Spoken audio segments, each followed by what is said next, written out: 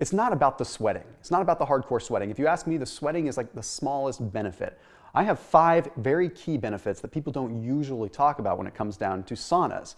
So let's go ahead and let's break them down. But first, I have to help you understand really quick that saunas are all about triggering stress in the body. It shouldn't be this super relaxing experience. It should be kind of difficult because you're trying to trigger an adaptation within your body that allows you to cope with the heat better. Okay, from a molecular level, at a cellular level, mitochondrial level, and we'll touch on all of it and I'll keep it fairly high level, but we'll go and drill into some things. Hey, do hit the red subscribe button and then hit the bell icon if you don't uh, mind as well. And then after this video, I want you to check out my friends at Ujido Matcha, which is a Japanese matcha company, 187 year old company. Check them out down below in the description. That way you can use that special link and you can get your hands on some ceremonial grade matcha. You can get your hands on some really good quality on the go stick pack matchas, but they also have matcha collagen, which is sweetened with stevia, so it's totally keto friendly and something that you could have shortly after breaking a fast if you're into that. So highly, highly recommend them. Super high quality stuff down below in the description. And thank you, Ujido,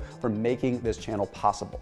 Okay, so now that we know that saunas are a stressor, and that's what we're after, we can learn a little bit about how they work specifically. Okay, so let's focus on number one, longevity. People don't think of saunas as a longevity tool, but if you look at a study that was published in the journal JAMA that took a look at over 2,300 Finnish subjects from Finland, okay, they looked at them over the course of 20.7 years, almost 21 years, okay, and they found that when they used saunas, it was dose dependent correlated with their overall longevity or their mortality rates, right? So they found that if they used a sauna three times per week, they were 24% less likely to die during the course of the study. However, if they used a sauna four to seven times per week, they were 40% less likely to die during the course of the study.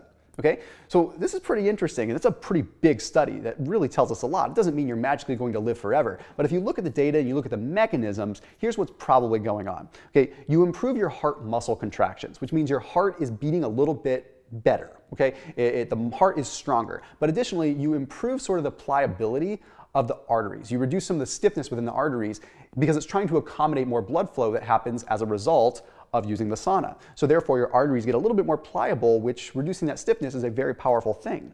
But then we have something called autophagy, which is where when your body is under stress, it reallocates and it really tries to prioritize the cells that are healthy. So it takes cells and components of cells that aren't functioning well and it breaks them down for fuel. So basically, you are able to go through a survival of the fittest mechanism by using a sauna.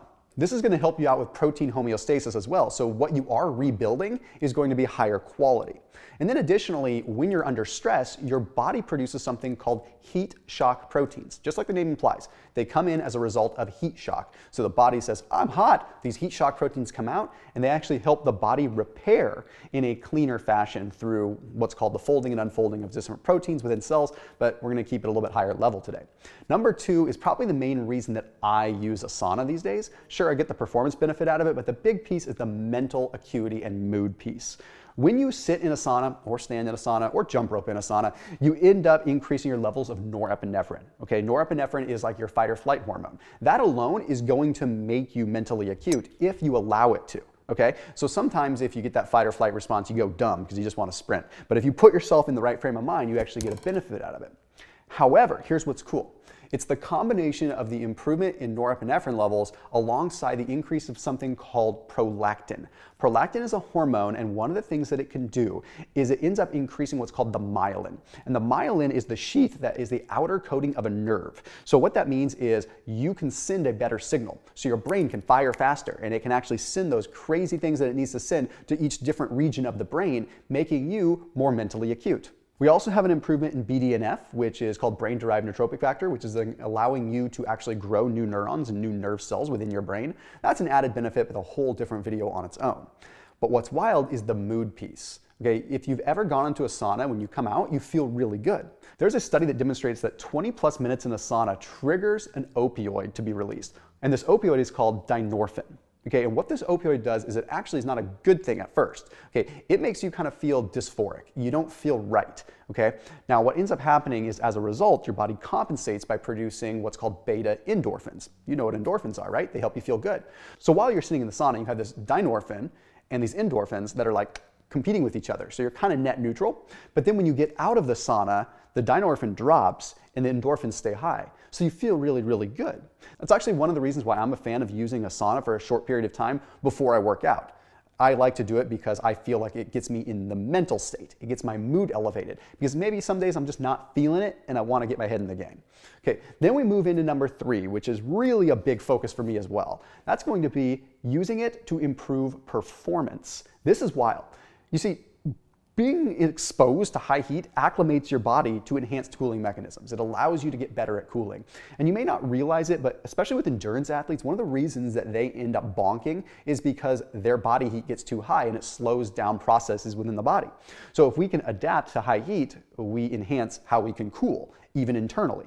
We also end up with more blood flow. Okay, that means more glucose delivery, so more glycolysis. That means more free fatty acid delivery. That means more potential ketogenesis. That means more uh, beta oxidation, producing more energy from our actual energy substrates. Okay, then we also have an improvement in oxygen delivery. Thus comes from an improvement in red blood cell count. Okay, here's a wild study, super wild, and if this doesn't convince you to use a sauna, I don't know what will. The Journal of Science in Medicine and Sport took a look at individuals that used a sauna for 30 minutes two times per week. Okay, and they only did this for three weeks, and they found that if they used the sauna 30 minutes, two times per week, that they ended up having a 32% increase in their time to exhaustion when they were running. 32. So a third increase in their time to exhaustion. That's like me getting exhausted after running at, you know, for three minutes. And now after using a sauna for a couple weeks, for just two times a week, I can run to exhaustion at four minutes. Gained a whole minute on that. That is insane. And this comes as a result of a 7.1% increase in blood plasma volume, so a lot more blood, and a 3.5% increase in red blood cell count. So that's that much more oxygen getting to your cells. Insane. Okay, then let's talk about the mechanism of how we produce more red blood cells as a result of this whole thing. When you are slightly dehydrated, so especially like right after a workout, if you go and you sit in a sauna, what's going to happen is what blood you do have left goes to the skin to enhance cooling. Okay, goes to the blood uh, capillaries in the skin, helps you kind of vent and cool. Well, this triggers, okay, we're low in blood. So the kidneys, therefore, as a result, produce, you guessed it, EPO.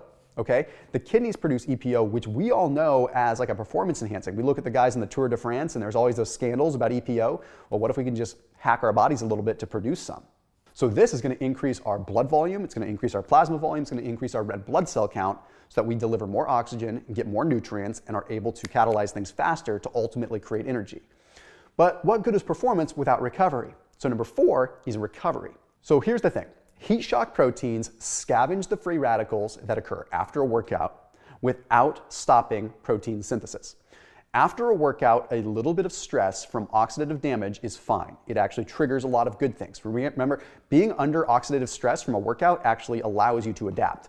But there are some things like superoxide, which is a particular uh, oxidative damaging free radical that's in the body that causes a lot of damage after a workout. We do want to plummet that one.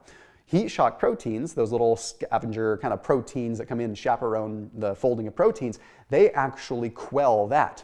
So basically, they lower oxidative damage while keeping protein synthesis high. So you can still rebuild muscle without having the oxidative stress. But what's really freaking cool is the growth hormone response. Okay, growth hormone signaling skyrockets because when you are in a sauna, it inhibits what is called the FOXO gene. Right after a workout, if you are expressing what's called FOXO, which is typically what's happening, it's triggering the catabolization of muscle, the breakdown of muscle. We don't want that, obviously. We just worked out. We don't want to be breaking down muscle. So if we can inhibit the expression of that gene, that pathway, FOXO, then we stop the breakdown of muscle. So what are we left with? Building muscle. Because normally when you consume protein, you have to counteract a little bit of the catabolization that's occurring. And then if we get rid of the catabolizing effect, then all of a sudden you're just building. It's hecka cool, right? You can tell I'm from California originally. So then when we get down to a really nitty gritty, if you want to go extreme, there are some studies that show that if you are willing to take the time and like don't have a family and don't have a life and spend two hours in a sauna a day, one hour in the morning, one hour in the evening at a very high heat, and do that for a few days, there is a 16x increase in growth hormone, and it lasts for hours after the sauna. So once you've been doing that for three days consecutively, then each time you go in a sauna, you get the 16x increase. So if you are taking a period of time to be specific for recovery, that could work out really, really well to be something where you just get this extra growth hormone response. The last one that I have to talk about is a huge one for me. Okay, I used to be 300 pounds, and when I was that heavy, I did a lot of damage to my body. So I am in pain a lot. And quite candidly, one of the reasons that I use a sauna is for pain management. Okay, not only do I get the mood effect, do I get that opioid effect that actually soothes my pain, but it loosens everything up so I can actually move. Okay, now you might be wondering, should you use a dry sauna or an infrared? Infrared is going to heat you up inside the joints a little bit more. It's kind of like a low grade microwave that's cooking you from the inside. So that is okay for pain relief, but that's really good for getting warmed up. If you're actually looking for the endorphin effect and the opioid effect of actually sitting in a sauna, you want to use a dry sauna at a relatively high heat. Anyway, I know this was a lot of detail, but hopefully you learned something from it. And as always, please don't forget to subscribe, and I'll see you tomorrow.